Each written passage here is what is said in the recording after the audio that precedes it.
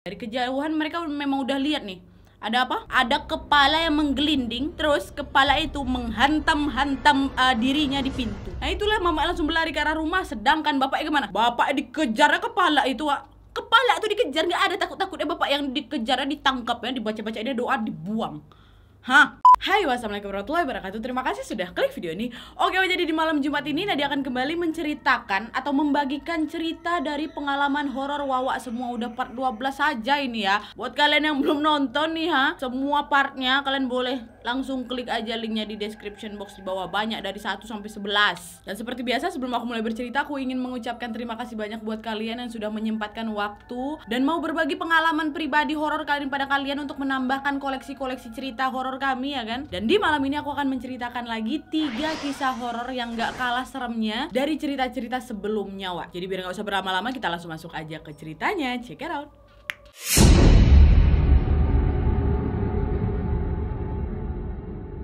Oke, Wak, kisah pertama yang bakal aku ceritain ini adalah cerita yang datang dari Wawa aku yang minta namanya untuk tidak disebutkan. Karena cerita yang mau dia ceritain ini menceritakan sebuah hotel yang masih beroperasi sampai sekarang. Daerahnya di mana nggak mau dikasih tahu saking dia menjaganya hotel ini ha. Gak usah kita tahu di mana hotelnya, mau kita dengarkan ceritanya aja ya kan? Nah kita sebut aja lah si kakak ini namanya Kak Rosa ya. Nah jadi Wak, kejadian yang dialami Kak Rosa ini baru juga terjadi di tahun 2019 Pas Rosa dan temannya masih menjadi pegawai baru di salah satu hotel di kota dia. Nah jadi ceritanya Rosa ini baru aja Wak lulus dari SMK jurusan Tata Boga kan dan saat itu memang Rosa belum punya kerjaan. Nah selang dua bulan dari si Rosa ini lulus akhirnya Rosa dan temannya ditawari bekerja di salah satu hotel di kotanya ini. Nah temannya ini kita sebut aja Citra ya. Nah di situ si Rosa sama Citra ini dikontrak Wak selama satu tahun untuk jadi cook helper pastry. Jadi semacam uh, tim yang bisa bantuin bikin kue gitulah kayaknya ya. Nah awal bekerja di hotel itu Wak Rosa sama Citra ya cukup senang karena memang mereka ini bisa akrab sama para seniornya bisa bercanda-bercanda gitulah. Nah suasana hotel juga selalu rame wak. Nggak ada yang janggal sama sekali. Tapi wak kejadian aneh ini mulai terjadi di saat memasuki bulan kedua. Kejadian aneh kayak tiba-tiba uh, pintu ketutup sendiri terus ada suara tapi nggak ada orangnya. Ada suara benda jatuh tapi waktu dicek nggak ada yang benda jatuh sama sekali. Dan macam-macam wak. Awalnya mereka itu mikir ah itu mungkin ulah senior mereka yang lagi iseng lagi tuh kerjaan anak baru ya kan? Biasa lah yang namanya bercanda. Nggak ada pikiran aneh-aneh nih. Sampai pada suatu hari wak mereka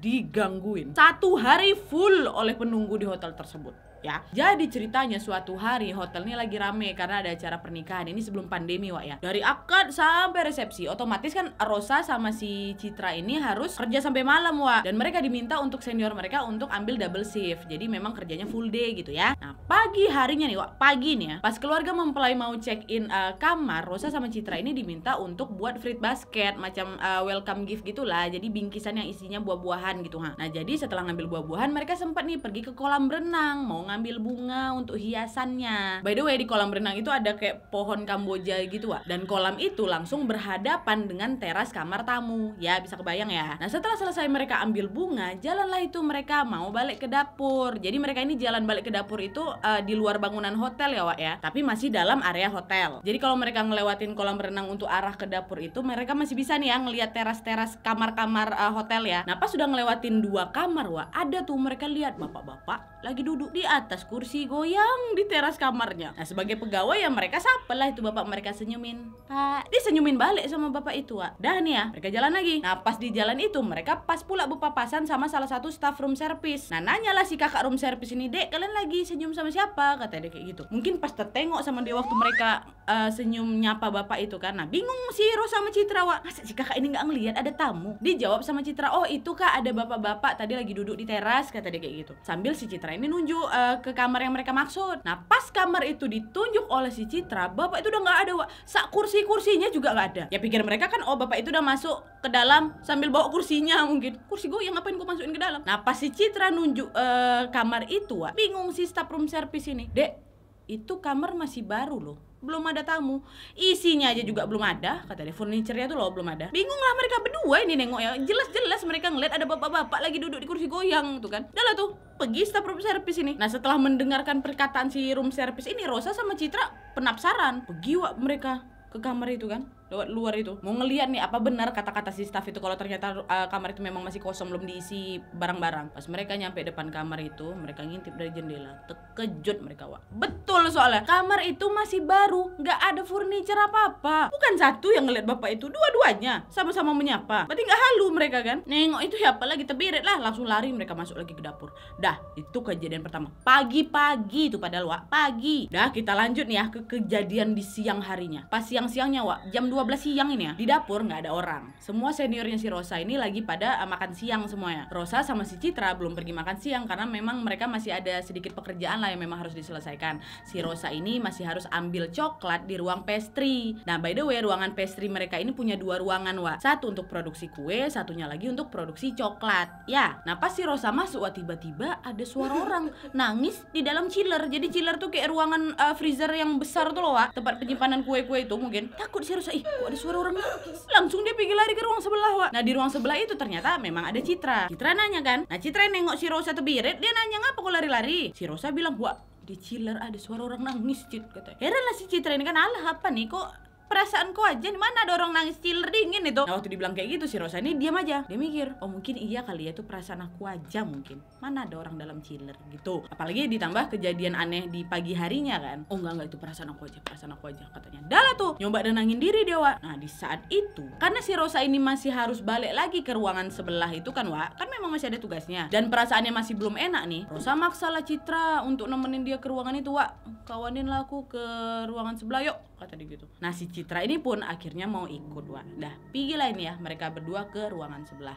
Pas sampai di ruangan itu Rosa ini nggak uh, dengar lagi tuh suara orang nangis di chiller. Baru dia berani Rosa pun masuklah ke dalam chiller itu kan memang mau ambil coklat. Nah pas masuk ke dalam chiller wah tiba-tiba pintu chiller itu ketutup kayak ditendang gitu loh dari luar. Dan lampu di dalam chiller tuh mati semua. Panik lah si Rosa wah langsung teriak Citra! Oh kalau bercanda jangan kelewatan kok ya. Ada-ada aja kok dingin di dalam ini kata si siapa? Rosa. Pas si Rosa teriak kayak gitu nggak ada jawaban dari luar. Rosa pun digedor-gedor woi Citra buka ini sejuk di dalam ini. Nah sebenarnya wah di dalam pintu chiller itu kan ada gagang pintunya juga kan? Tapi nggak tahu kenapa gagang pintunya tuh nggak bisa digerakin. Paham nggak sih kalian kan gagang pintu kalau ceklek ceklek bisa kita gerakin kan? Ini nggak kestak dia wah nggak mau diturunkan. Makin panik si Rosa nih wah bisa beku aku di dalam ini. Makin menjadi jadilah kan teriak dan Citra Citra aku nggak usah macam-macam Citra. Buka buka buka dia kayak gitu. Lama juga wah si Rosa tuh dalam chiller tuh Toklen. Nah karena dia udah sampai ngerasa kepalanya udah pusing karena kedinginan tuh, wah, badan dia udah menggigil ya kan. Udah nggak kuat si Rosa nih, wah. Betul-betul kayak ngerasa mau pingsan. Tiba-tiba baru itu pintu chillernya kebuka zat gitu dan kalian tahu Citra yang bukain pintu dengan wajah kayak orang bingung sama panik, wah. Tengok si Rosa menggigil mau pingsan itu. Langsunglah si Citra bawa Rosa ini ke tempat dekat dengan mesin open biar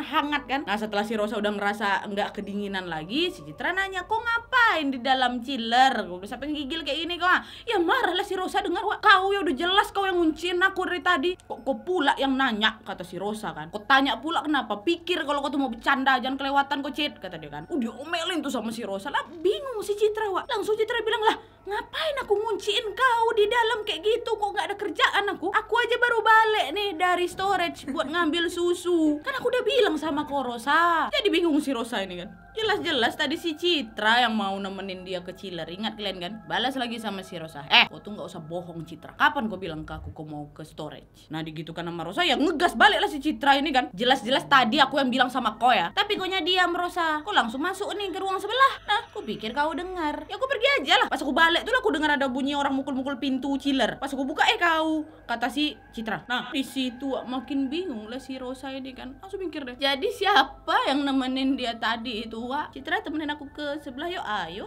hmm, tutup ternyata bukan Citra Citra sebenarnya pergi ke storage susu siang-siang itu kejadiannya. Wak. dua orang ini ya diganggu lagi. Dan setelah kejadian itu mereka tetap melanjutkan bekerja lagi tapi jadi paranoid si Rosa ini. Dia ngerasa kayak ada orang ngeliatin dia terus lah gitu. Tapi mau nggak mau perasaan itu harus uh, coba dia tepis kan. Sama tetap mikir ya udah itu itu perasaan aku aja. Itu perasaan aku aja. Nggak mungkin ada apa-apa kata dia. Lanjut kerja ya seperti biasa. Dan nih selesai nih cerita pagi sama siangnya. Ini nih yang epicnya kejadian waktu malamnya Wak? Ya. Jadi waktu itu udah sekitar jam 12 malam Wak mau closing lah mereka ini ya kan. Karena memang acara pernikahan udah beres lah. Nah pas si Rosa sama si Citra ini mau naruh uh, manisan Wak di cool kitchen ini kayak tempat khusus buah salad kayak gitu ya. Tiba-tiba tempat manisan itu jatuh semua. Citra Rosa tengok betul-betul jatuh sendiri. Padahal ruangan itu kedap udara Wak. Nggak ada angin. Nah di situ posisinya kan mereka cuma berdua kan. Teman-teman yang lain ya masih di ballroom tempat pernikahan lagi beres-beres mungkin. Nah nengok itu terjatuh ya ketakutan lah mereka berdua ini langsung mereka lari Wak ke ruangan pastry. Nggak mereka beresin lagi tuh barang-barang udah jatuh-jatuh jatuh lah sana lari mereka. Nah udah di ruang pastry mereka mencoba menenangkan diri kan dari segala keterkejutan tadi itu terus nggak lama kemudian si Citra ini mau masuk ke ruangan coklat kan mau naruh kue ke dalam chiller. Nah pas udah sampai di dalam Wak tiba-tiba Rosa dengar suara teriakan Citra langsung lah Rosa ini nyamperin Citra kan ngapa lagi ini? Dan di saat itu ternyata Wak Citra udah tekapar pengsan dia di lantai. Kue yang dibawa pun berserak di lantai Wak. Nah saat si Rosa ngelihat si Citra pingsan tiba-tiba Rosa mendengar ada suara kayak suara anak kecil. Cekikikan Wak. Dan itu dekat kali. Pas Rosa nengok ke atas Wak ada anak kecil. Mukanya penuh darah Wak. Hampir hancur. Dia duduk bersila kan di atas alat pembuat es krim. Sambil goyang-goyangin badannya wak ke depan belakang ke depan belakang masih cekiki kan? Kebayang. Ah. terus yang epicnya lagi aduh mau nangis aku. Anak kecil ini wak noleh ke arah si Rosa. Dia bilang apa? Ketemu kalian. Kata dia wak ya Allah. Kaget sekaget kagetnya Rosa waktu itu. Udah kaget dia nengok uh, kawan dia pengsan dia nengok ke atas. Boleh tahu Rosa pun ikut pingsan di samping eh, si Citra Wak. Pingsan dua-duanya. Dah akhirnya Wak nggak tahu gimana caranya Rosa ini bangun-bangun udah di ruangan kesehatan. Dan Rosa ngelihat udah ada senior Rosa dan di sana juga ada Citra yang udah mulai siuman tapi masih ag agak kayak ketakutan gitu. Dan setelah itu Wak senior Rosa nanya nih apa kalian kenapa kalian bisa pingsan? gitu kan. Terus dijelasin lah sama Rosa apa yang dia lihat tuh diceritain semua. Dan di saat cerita itu wajah senior uh, Rosa ini pucat Wak. Terus akhirnya si senior ini cerita kalau dulu pernah ada cerita anak owner hotel yang selalu datang untuk bermain dengan para staff di hotel ini. Dan tiba-tiba ada kabar kalau anak owner itu meninggal dunia gak tahu pasti kenapa, tapi yang jelas dia ditemukan dengan keadaan yang sangat mengenaskan kayak apa yang dilihat Rosa wak keadaannya. Muka hampir hancur. Dan kabarnya juga wak dia meninggalnya pas lagi bermain di hotel itu. Nah semenjak itu ya itulah si anak ini katanya selalu bergentayangan dan setiap kali ada orang yang bertemu dengan sosok si anak kecil ini, kata-katanya selalu sama, Wak. Ketemu kalian. Gitu. Kayak semacam dia nih diajak main peta umpet gitu, Wak. Hah, ketemu. Kata dia, epic kan ceritanya, Wak. Ya Allah Rosa, Rosa, untung Rosa sama Citra Semoga di mana pun kalian berada ya Moga baik-baik aja Inilah mungkin alasannya kenapa Rosa ingin menyembunyikan uh, identitasnya Karena memang hotel ini masih beroperasi Wak Tuh cerita pertama Kita lanjut cerita kedua ya Wak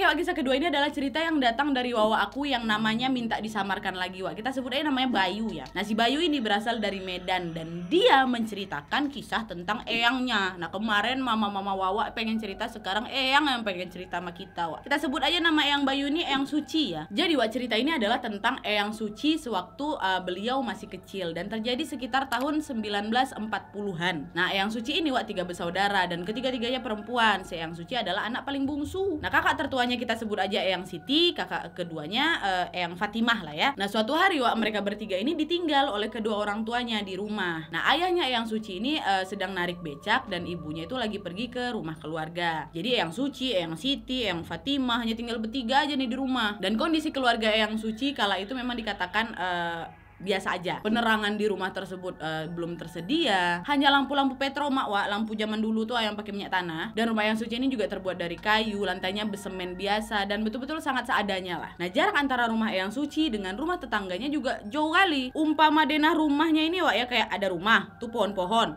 ladang rumah ladang pohon, rumah gitulah ya. Jadi emang jarak itu lumayan gitu, bukan yang langsung tetangga di sebelah rumahnya. Nah, jalanan di daerah rumahnya Eyang Suci ini pun masih tanah bebatu, Wak. Jadi memang betul-betul settingan rumah-rumah zaman dulu lah, Wak, kalau di film-film tuh. Apalagi kata Bayu, Wak, rumah Eyang Suci ini emang berada di perkampungan. Jadi udah kebayang ya gimana kondisi rumah dan sekitar rumah Eyang Suci ini ya. Oke, kita lanjut. Jadi, Wak, bertiga lah kan mereka ini di rumah itu. Saat itu hari udah mulai gelap, Wak. Udah mulai mendekati maghrib. Eyang Suci waktu itu lagi belajar karena udah mulai gelap ya kan? Terus nanti kakaknya yang Fatima megangin lampu petroma biar adiknya ini bisa nengok waktu lagi nulis gitu. Nah di saat lagi nulis ini yang Suci nanya sama kakaknya kok mak bapak nggak balik-balik kak? Udah jam berapa ini? Bentar lagi udah mau gelap. Nah yang Siti jawab kakaknya kan mungkin masih dalam perjalanan deh udah lah kita tunggu aja lah katanya Nah, maghrib pun akhirnya lewat wah ditunggu punya tunggu punya tunggu. Mak bapak tiga beradik ini pun nggak balik-balik. Lewat isya nggak balik juga. Akhirnya mereka bertiga ya nyibukkan diri lah. Main aja bertiga bercanda-bercanda. Waktu itu belum ada handphone wah jangan kan handphone TV aja kata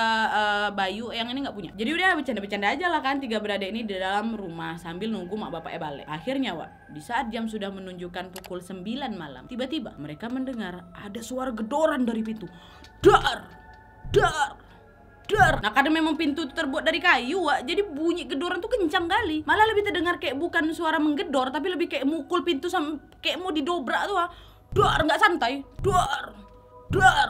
Dah, dan tidak lama dari gedoran ini, Wak, mereka mendengar ada yang memanggil nama panggilan mereka dengan suara yang lirih. Ti, ma, ci, gitu. Siti, Fatimah, Suci maksudnya. Nah, Eyang Suci yang pada saat itu tidak merasa ada yang aneh, bertanya sama kakaknya, Kak siapa itu kak? Mama. Nah, Kak Fatimah pun langsung ngomong lah kan dengan uh, agak sedikit uh, berteriak. Siapa tuh? Mama, bapak, lalu hening wak, nggak ada suara. Nah, beberapa detik kemudian pintu depan itu pun dihajar lagi, dar, dar, betul-betul kok dar gitu kencang suaranya Wak. Nah, Eyang Siti pun berteriak lagi, "Woi, siapa tuh?" Tapi lagi-lagi nggak ada sautan, Wak. Nah, Eyang Suci yang pada saat itu tidak merasa takut, tiba-tiba dia bilang, "Mungkin Mama, Kak. Mama butuh bantuan kita ke jalan besar. Mungkin Mama bawa belanjaan banyak itu, Kak." Nah, pas Eyang Suci ngomong kayak gini, kakak-kakaknya pun langsung tersirok lah kan terpikir dia, "Oh iya, betul juga kataku ya. Yolah yuk kita susul Mama ke jalan besar," katanya kan. Nah, kira jalan lawak mereka ke arah pintu dan langsung dibuka sama mereka dan kosong, nggak ada siapa-siapa memang. Dan di saat itu mereka langsung mikir, "Oh, betul, tadi tuh Mama. Mama mau manggil kita aja itu biar bisa bantu ngangkat barang di jalan besar katanya kan. Udah lah tuh makin yakin mereka wah jalanlah tiga beradik ini ke jalan besar. Dan jarak dari eh, rumah mereka ke jalan besar tuh juga nggak begitu jauh wak. Masih kelihatan tapi eh, nggak dekat kali gitu ya. Cuma memang mereka harus ngelewatin ladang pohon besar, pohon juntai, kebun, baru bisa ke tepi jalan besar itu. Nah, waktu berjalan ini, wak mereka berpegangan lah bertiga ini dulu juga dah jalan. Nah, di saat sudah melewati ladang, kan mereka harus ngelewatin pohon besar itu kan. Nah, di saat ini, wak yang suci tiba-tiba ngomong sama kakaknya, kak, kakak lihat ada cewek duduk di bawah pohon tuh lagi nyicir rambut, rambutnya panjang kali kak, kata yang suci. Nah, yang Fatimah pada saat itu ngomong, halah kau mulut kau, nggak usah kau itu, nggak usah kau tengok-tengok, kau diam aja, kakak tahu karena kakak tengok, katanya udah jalan, jalan aja kita. Jadi si kakak ini juga memang nengok wak, tapi milih diam aja lah yang suci dia pula lucu kali dia ngomong kan. Udah lah makin erat lah itu mereka bertiga berpegangan tangan itu ya kan. Sampai akhirnya wak mereka sampailah di pohon menjuntai ya. Nah di sana langkah mereka terhenti karena di depan kebun mereka melihat ada laki-laki berdiri dan muka laki-laki tersebut hancur sehancur hancurnya wak laki-laki itu diam terus nyengir lihat ke arah tiga beradik ini. Nah pada saat itu yang Siti langsung ingat yang Siti kakaknya ya langsung ingat dia kalau ada cerita nih memang di sekitaran situ yang konon katanya memang ada laki-laki misterius yang sering berdiri di dekat kebun. Nah saat itu yang Suci langsung bilang kak balik aja yuk kak. Kita tunggu mama di rumah aja yuk kak katanya. Mereka nengok tuh. Nah yang Siti sama yang Fatimah juga ayolah yuk balik balik badan kita. Jalan nih jalan cepat ya kan? Sampai rumah Nat belum? Kalian tahu tuh lagi jalan tuh. Mereka lihat apa? Pas beberapa langkah dari balik badan itu mereka ngelihat ada pala wak. Menggelinding di kaki mereka ngegelinding. Dan kepala itu ah, dengan kondisi udah terbakar. Nganga menggelinding samping mereka. Apa nggak terkejut mereka tuh? Langsung lari tebirit tiga anak gadis itu langsung masuk ke dalam rumah ya kan? Sempat pula tuh yang Fatima terjatuh wak disusul lagi lah sama saudaranya. Dijemput balik lagi ke rumah. Nangis teriak-teriak gitu kan. Nah si yang Fatima ini wak waktu pas dia jatuh masih juga yang Fatima tuh lihat kepala tuh ngegelinding ngejar mereka tuh loh. Ngegelinding ngeret gitu. Kalian bayangkan. Dikejar kepala. Nganga nyah Dani ya. Sampailah kan mereka bertiga di rumah. Nangis semuanya. Udah kunci pintu depan. Mereka berpeluk lah tiga beradik ini ya Allah kasihan kali. Berpeluk nih dan gak lama setelah itu langsung lagi ada suara lagi dari depan pintu. Dar dar dar gitu kan. Masih digebrak lagi pintu itu Wak. terus ada lagi suara yang manggil nama mereka. Ti mah Ci, makinlah ketakutan mereka ini kan Wak ya. Eh, yang Siti teriak, pergi kau, pergi kata gitu. Nah setelah si yang Siti uh, teriak kayak gitu Wak, tiba-tiba ada lagi suara, tapi kali ini lebih pelan Wak.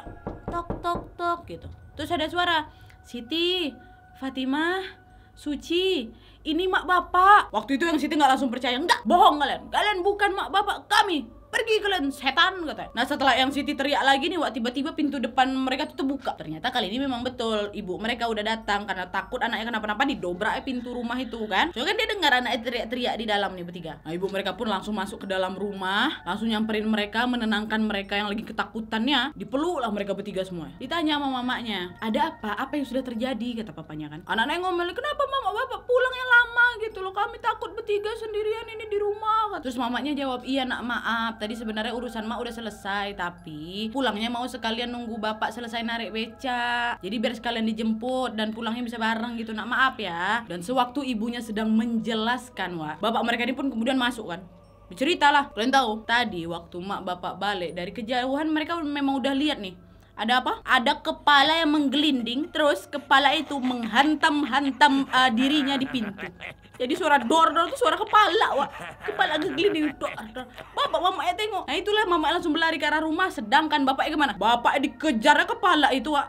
Kepala itu dikejar nggak ada takut-takutnya bapak yang dikejar ditangkap ya dibaca-baca dia doa dibuang. Hah, berani kali orang-orang zaman dulu ya ya Allah. Nggak lari dikejar, dibaca-baca dibuang. Bagus. Bapak. Dan setelah itu ibu mereka pun bilang lain kali kalau udah maghrib jendela-jendela di rumah ditutup ya. Dan kalau ada yang gedor-gedor lagi jangan dibukain pintunya karena itu bukan manusia, itu setan kata Mak. Allah kasihan kali lah yang suci sama kakak-kakaknya. Nah itu cerita kedua. Seram kan? Kita lanjut ke cerita terakhir.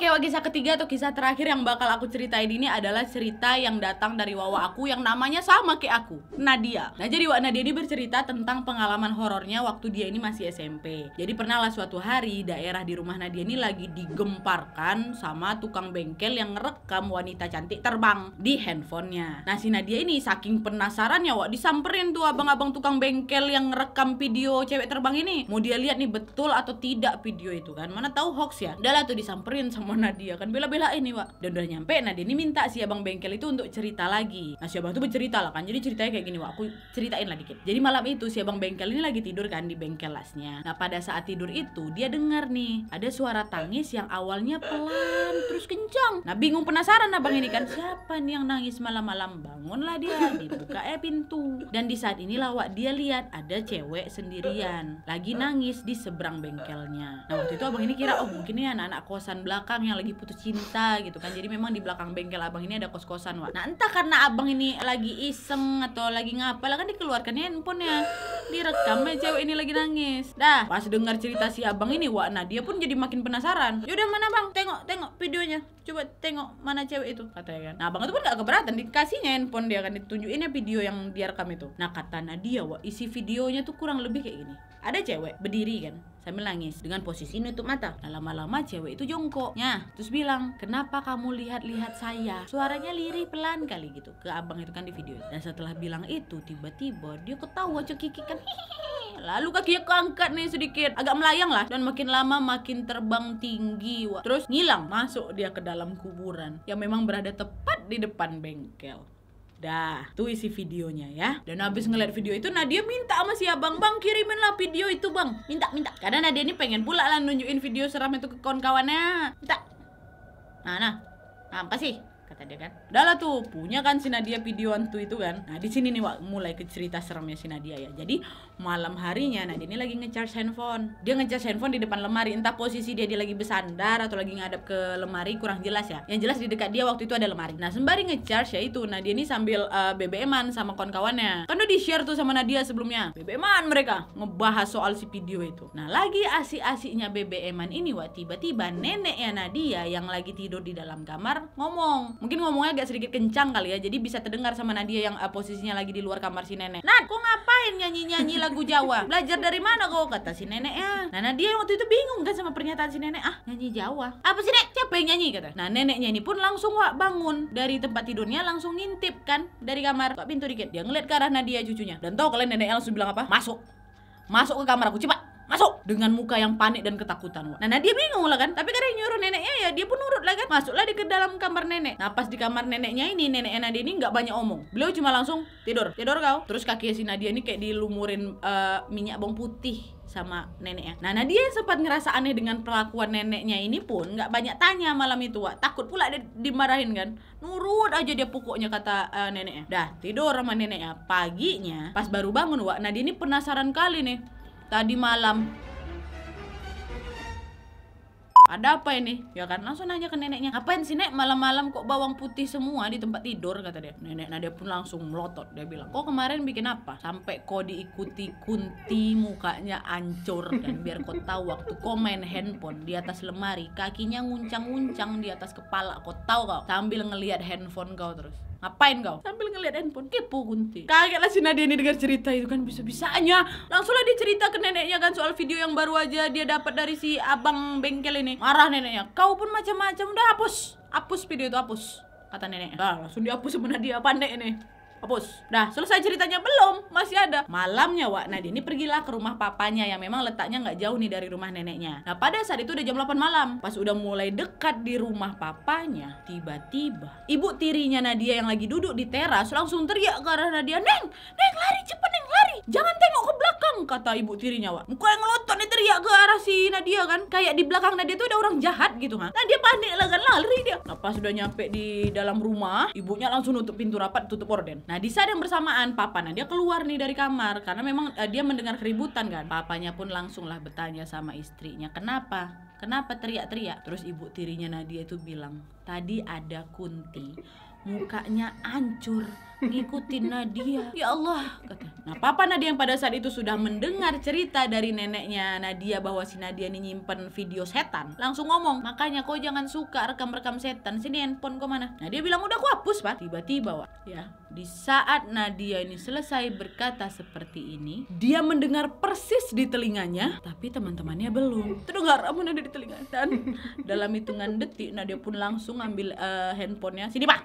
Telepon kon-konnya satu-satu tolong tolong weh hapus. Hapus video tadi. Hapus. Tolong tolong. Aku diteror nih sama si cewek itu. Dan pada saat si Nadia ini nelpon kawan-kawannya ini wah ternyata nggak cuma Nadia aja yang diteror. Kawan-kawanan yang megang video itu juga diteror sama si kakak-kakak yang nguncang-nguncang kaki nengok handphone mereka tuh. Ha? Ya Allah. Aduh Kenapa tiba-tiba? Hah, merinding aku. Aku memang pernah sih dengar katanya kalau kayak kayak gitu tuh dia ngikutin. Tapi namanya awak ini jiwa penasaran akan horor nih meronta-ronta kan jadi pengen aja nengok. Kali nggak senang sih kakak itu. Aduh, kok tiba-tiba pusing kepala aku bagian sini. Eh, hey, hai ya gitulah pokoknya Wak. Oke Wak jadi itu tadi kisah horor Wawa aku kali ini. Buat kalian yang juga pengen berbagi kisah horornya untuk menambahkan koleksi cerita horor kami bisa langsung email aja di email di bawah. Susun cerita kalian serapi mungkin dan sejelas mungkin. Nanti untuk kisah-kisah yang paling menarik akan aku up. Dan mungkin memang butuh waktu Wak bersabar. Karena kan yang masuk banyak jadi memang harus kuseleksi satu-satunya. Ya kami bagi sampai enam orang yang baca email kalian itu. Ya tapi terima kasih banyak yang sudah pengen bercerita kepada kami semuanya. Oke Wak jadi sekian dulu videonya. Terima kasih banyak yang sudah menonton nonton. Kalau kalian suka video ini, klik like-nya. Jangan lupa komen di bawah untuk ide dan saran-saran untuk video selanjutnya. Jangan lupa nyalain notifikasinya supaya kalian tahu kalau aku upload video baru. And as always, jangan lupa untuk klik tombol subscribe supaya kalian sama-sama tahu informasi menarik dan menegangkan dari channel aku. See you next video, bye.